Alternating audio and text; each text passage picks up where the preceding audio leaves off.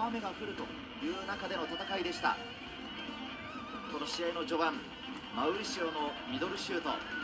松波さんからこのサイド高く押し上げてそして中と外の出し入れでチャンスを作っていくといいというお話がありましたが、ねこの入りどうでしたか？いや良かったと思いますよ今のマウリシオのシュートを取るとき特にコオロキはもうそこで打たせる方を選んでるわけで、はい。手に動いてないんですよ。でもこの,、ええこの瞬間ですよここがポイントじゃないですかそうですね。このこれが先制ゴール20番をしっかり外すというこの動き前にかかってる背中取ってる。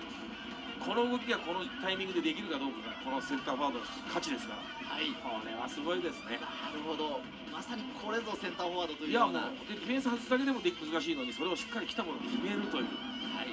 これはもう見事なもんですよ。ええこの後そうですね。ファブリシオシュート。今日はファブリシオ先発。このファブリシオどうでしたか？ああのよく頑張ってると思います。はい。シュートをね打ってあの圧力を相手に与えてた。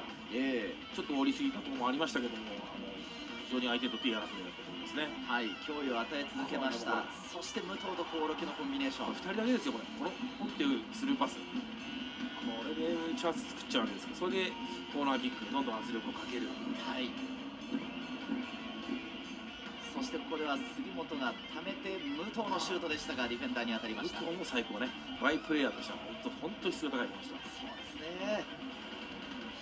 そして杉本が落としての興梠このシュートはミートしませんでこれしたちょっと入りすぎちゃっててはい。前に入りすぎてるからこそああいうふうに焦るようになっちゃったんですあそこ反省なんですよ。あと1メートル後ろにいればよかったなと今思ってます。はい。ねして後半35分歓喜の瞬間興梠